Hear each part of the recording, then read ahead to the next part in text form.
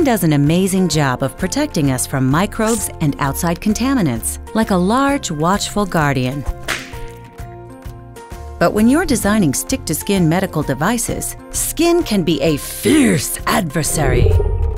In this video series, we'll help you understand the unique challenges skin poses and help you choose appropriate adhesive materials for your applications so you can make skin your friend.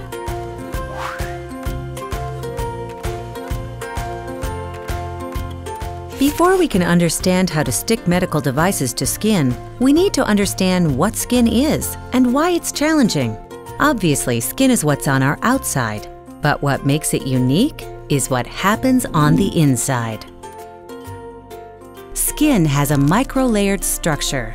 From the outside in, skin consists of the epidermis, the papillary dermis, the reticular dermis, and the hypodermis. The top layer of the epidermis, the stratum corneum, consists of dead skin cells that are regenerated about every 14 days. This constant regeneration of skin is a key challenge in formulating adhesives that can stick to it. But that's not all. There are other biological factors that can make sticking to skin difficult. When designing devices for skin, the age of the wearer is a key factor. As you age, skin becomes more fragile, drier, and easier to damage. That's because with age, the epidermis flattens and thins, making it easier to shear off its cells and damage that skin layer. We also lose hyaluronic acid, which gives skin its sponginess, so skin becomes more fragile and brittle. Babies also have fragile skin.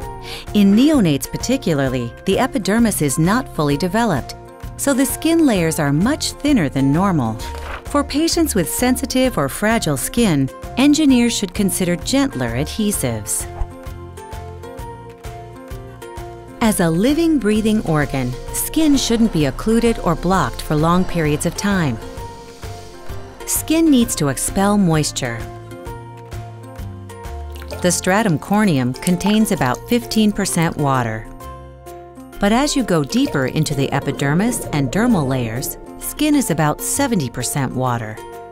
That water is constantly trying to make its way up and out through the top layer of skin. A device that occludes the skin can trap water that's trying to escape. This can lead to a problem called maceration. More on that later. Just remember, for skin, breathability in devices and adhesives is good, while trapping moisture is bad. You'll notice that there are hair follicles throughout the skin. Even though hair is usually removed before wearing a medical device, hair continues to grow under the device, pushing up and against the adhesive. Hair follicles also contain microbes, which can potentially lead to folliculitis, which is an inflammation of hair follicles that accompanies infection. In addition to skin challenges, device designers will also want to consider the activity level of the user. Will they be active or sedentary? Where on the body will the device be worn? How long will it be worn? What materials will it need to be compatible with? What's the manufacturing process? Is sterilization required? It's a lot to think about. What's a device engineer to do? Hmm. We suggest joining us for our next chapter, Befriending Skin with the Right Adhesive.